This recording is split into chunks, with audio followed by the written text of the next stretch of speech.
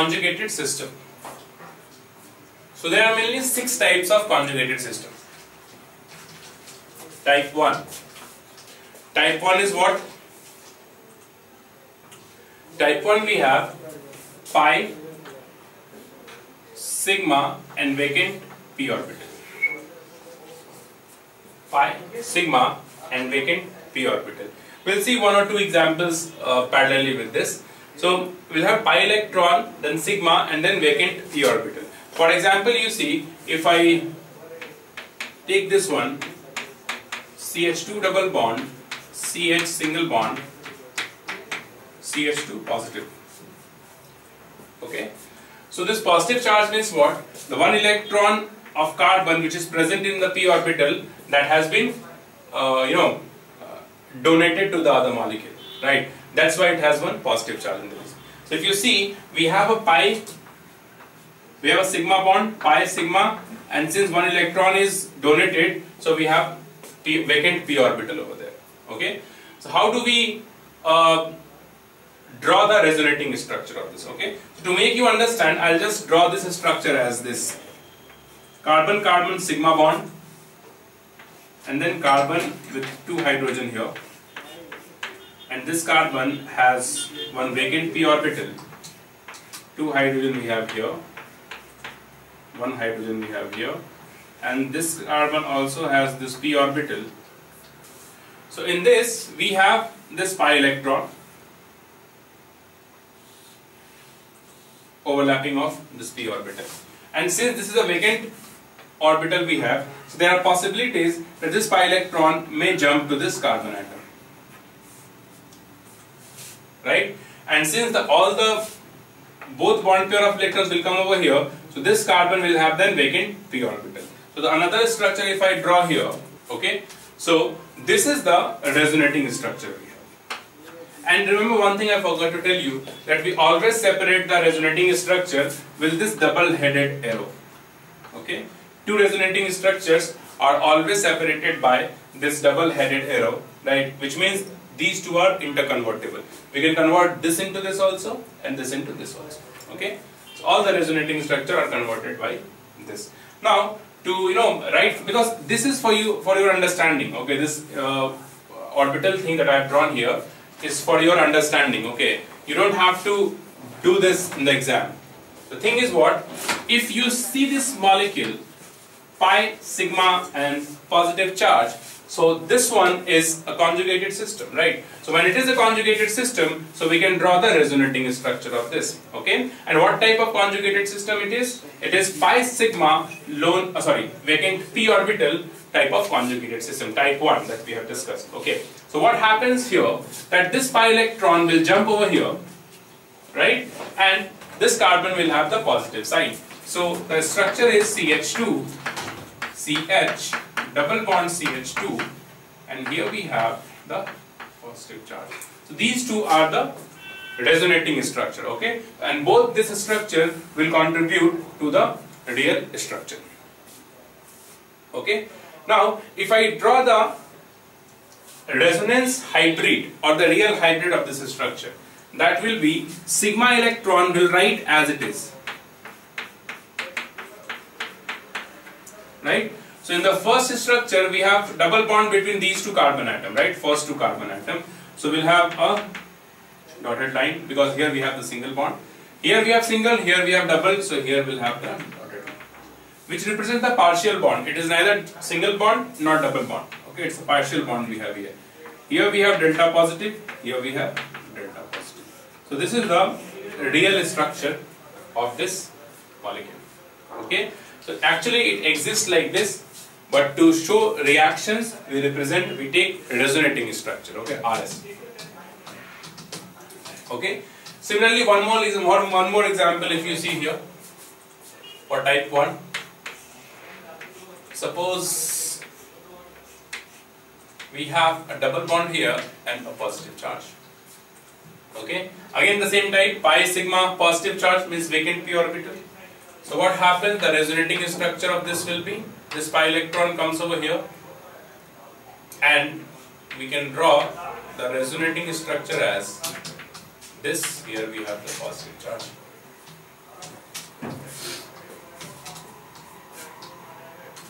Okay. So this is the another structure. Now one thing you must keep in mind.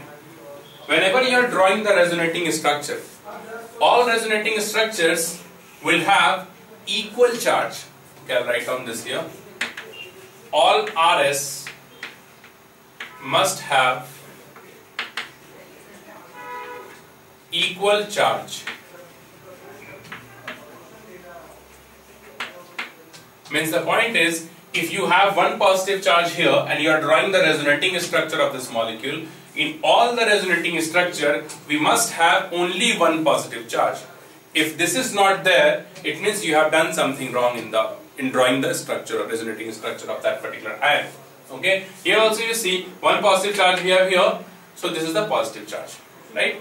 So the point is for the vacant p orbital, we must have positive charge present here pi sigma positive charge if it is there it is a conjugated system and we can draw the resonating structure. So if it is a positive charge present over there then you can do this easily. You can understand this easily that it is a resonating structure. Sorry it is a conjugated system and you can draw the resonating structure. But I'll give you few examples also where we do not have the positive charge but still it is a type 1 conjugating system. For that one I'll give you one example here. You see third example BH2 Okay. BH2, if you see the configuration of this boron, here we have one vacant p orbital present. However, we don't have charge here. Whenever the boron is associated with three bonds, suppose BH3, right? So to understand this, boron has five electron. Configuration is what? 1s2, 2s2, 2p1. This is s orbital and this is p orbital. s orbital has two electron, p has one and this is there in ground state. So in excited state what happens? One of this pair of electron jumps over here and the structure will be the 2s orbital will have one electron then and out of this 3p orbital 2p orbital is having unpaired electron. So with all these unpaired electron hydrogen will give its one electron and forms the bond right? And we get BH3 molecule. Okay, three hydrogens, three electrons get spared, BH3 molecule. The point here it is what? Whenever boron is bonded with three bonds, it has one vacant p orbital. Okay, so boron you see here, two hydrogen and one bond here, three bonds. So this is the vacant p orbital we'll have here. So this type of system also pi sigma vacant p orbital type 1 conjugated system we have. So here also we can draw the same uh, we can draw the resonating structure. Okay, so what will be the resonating structure? I'll show you here. You see, this pi electron jumps over here, right? And it forms a resonating structure which is CH2, single bond CH, double bond BH2. Right? So now in this state, boron has how many electrons? 2, 2, 4 and 4 8 so it has 8 electrons which is excess of electron it has. So boron will have then negative charge right? And since this carbon has donated its electron here so this carbon will have positive charge. Okay? So now again you see these two resonating structure. Here it is what? It is neutral because there is no charge present here. Here also you see positive negative will cancel each other no charge present. So these two are the resonating structure. Okay. So all these are type 1 conjugated system. Okay. So you must take care of that for type 1 we don't require positive charge always. Whenever you have this kind of molecule it also has one vacant p orbital and resonance is possible here. Okay. Now type 2 conjugated system. Type 2. What is type 2 conjugated system? It has pi bond, then sigma, and then lone pair present in the p orbital. Pi, sigma, and lone pair. Okay. For example, you see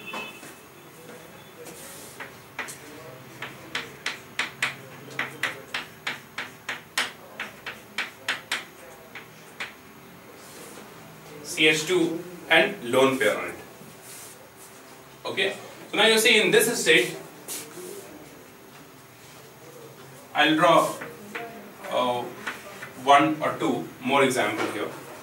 Now in all this structure you see, this carbon has how many electrons? 2, 4, 6, 8 electrons. Okay. For carbon itself if you see, 1 electron we have here, 2 electron we have here with 2 hydrogen and 2 electron we have here. So this carbon has 5 electron. So it has excess electron, so that's why we'll have one negative charge here. Right? Similarly, here also we have the negative charge and here also we have the negative charge. Okay? Electrons of carbon only we are counting here.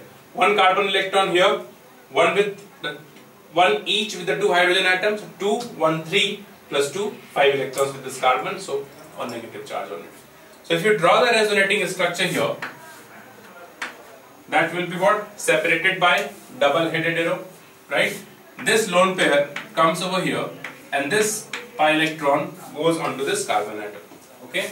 So it is CH2 negative charge CH double bond CH2. Okay, so these are the resonating structure. This one again, this pi electron comes over here, this pi electron will come onto this carbon atom. For this one, this lone pair comes over here, this lone pair comes over here. We can draw one more resonating structure in which this lone pair comes over here and this pi electron comes over. So these are the resonating structure we have. Okay, if you try to draw the resonance hybrid of this, that will be like this. A ring and uh, pi electron is delocalized from this carbon to this carbon. So we'll have this delocalization of pi electron like this. Partial negative charge we'll have here, partial negative charge will have here. Okay. For this one, if I draw the resonating structure, it will be CH2, CH, CH2 and we have a pi electron here, delta negative, delta negative, okay. So like this we can draw the resonating structure. Type 2 conjugated system is this. Okay. We can draw one more example. Okay. Like this we can draw. Another structure is what?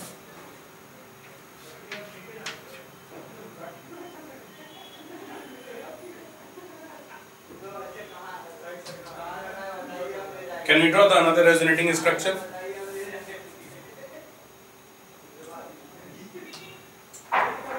Is it possible?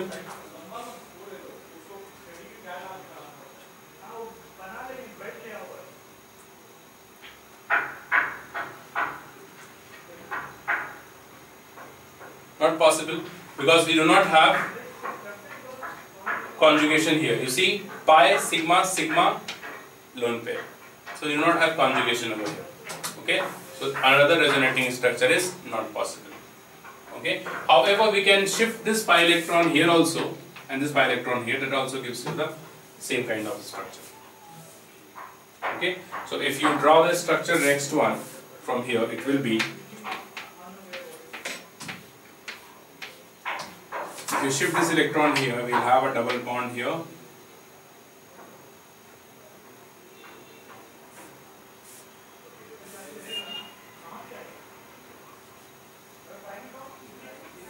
and we have the negative charge here. That is what the structure is. So like this we can draw the resonating structure again. So it is a type 2 conjugated system. Okay. The next one is third type. Type 3 which is nothing but pi, sigma and unpaired electron only one electron. Okay. For example, CH2 double bond CH single bond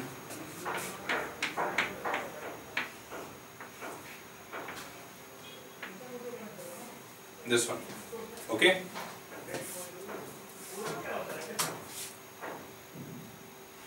now in this if you draw the resonating structure here homolysis actually takes place okay because one unpaired electron we have to retain. So here we have two electrons. One electron will jump on this carbon atom and will denote this by half arrow. And another, another electron will jump over here, half arrow. Okay? And the RS you get here will be CH2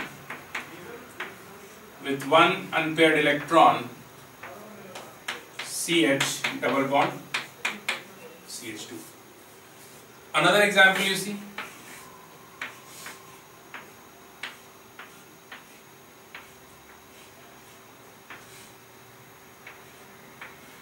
This one. It is not a double bond.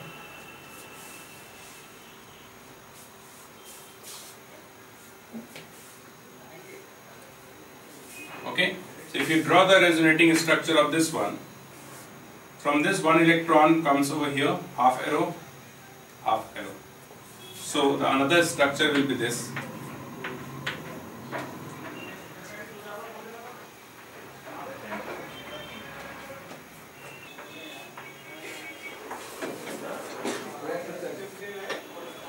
This is the resonating structure we can draw. Okay. One more example we'll see.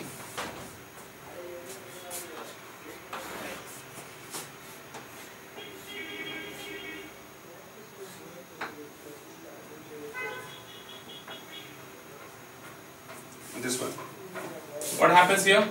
This will come here, half arrow, half arrow. And this gives double bond and.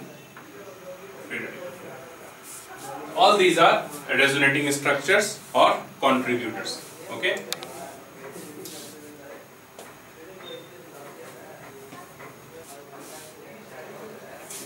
Fourth one, type 4. In this we have vacant orbital, sigma and lone pair. Okay. So this is what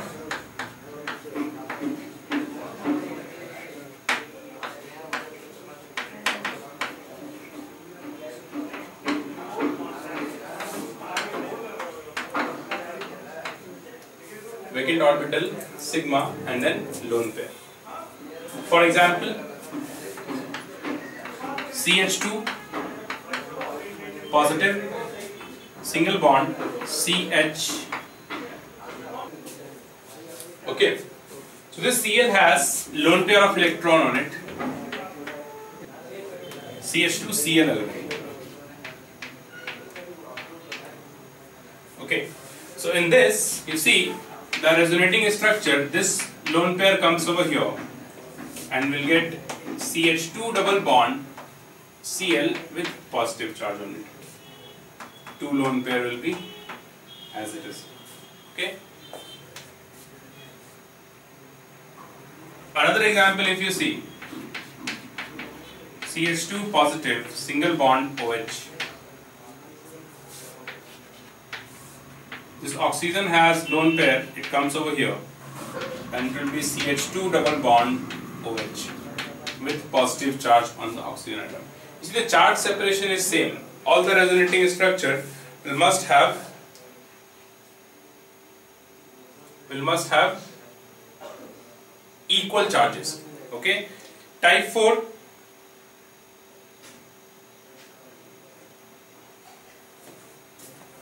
type 4 we have done. Type 5 type 5 what we can have? We can have lone pair and this d orbital so we have lone pair present sigma bond and then d orbital, vacant d orbital we have here. Right? Lone pair, sigma bond, vacant d orbital. Example you see, here we have negative charge. For this if I draw the structure, this will come over here. CH2 SH and negative charge. So since it has vacant d orbital, so sulfur can expand its octet. Okay, so expanded octet it can show. Okay, so all these are different types of resonating structure and um, um, you know resonance we have here. One more important thing that I I forgot to tell you here. This case is nothing but the case of back bonding. You must have done this in uh, chemical bonding or periodic table. Uh, back bonding. Because of back bonding only, we also have defined the acidity of HCl, HBr and HI. The Lewis acid behavior of these molecules. This I have explained this on the basis of the Lewis acid behavior of these acids on the basis of back bonding also we have done okay these kind of different different you know resonating structures possible or and conjugated systems are there which you have to keep in mind and then you can apply the concepts of resonance in the given questions okay yeah. we have one last type of conjugated system here which is pi sigma pi conjugation this is a very common one pi sigma pi conjugation examples you see 1,3-butadiene.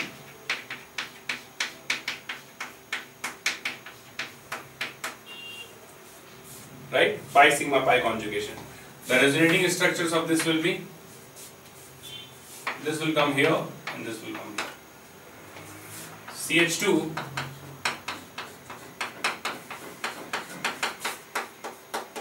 here we have negative sign, here we have positive sign. Overall the molecule is neutral and so here also it is neutral. First example. Second example, this is a very common type of uh, you know conjugated system we have. So what are the different, types of conjugated system? We have pi sigma vacant p orbital or we can say pi sigma positive charge, right? But why I'm not saying positive charge because we have seen in case of BH2 also, there we have vacant p orbital though we don't have charge present over there, the resonance possible, right? So in case of pi sigma vacant orbital, vacant p orbital, pi sigma lone pair, pi sigma free radical, right? And then we have lone pair sigma vacant p orbital, lone pair sigma vacant d orbital, and pi sigma pi conjugate. So all these six types of conjugated system possible, all these six types you have to keep in mind and then only you can understand that in the given molecule or ion resonance is possible or not. Okay. And one more thing, the molecule must be planar because you know the shifting of electrons from one point to another point requires parallel orbital okay? If one molecule goes out of plane right then the orbital is not parallel then the shifting is not possible right? So that's why we say that in planar molecule all the p orbitals are parallel and hence this kind of shifting is there. For example let me draw this structure of benzene. This is benzene right? So here we have p orbital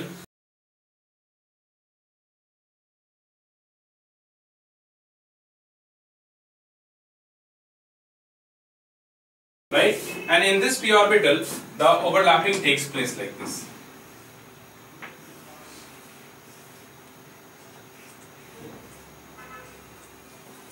Okay, and that's why we have pi, pi, and pi alternate. Okay, why? Because all these p orbitals are parallel.